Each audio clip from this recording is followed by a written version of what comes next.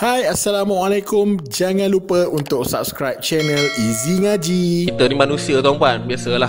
Ha, Ada je perkara-perkara yang kita buat. Walaupun orang nampak kita baik dan sebagainya Cuma di sebalik tu Hanya Allah yang tahu kan?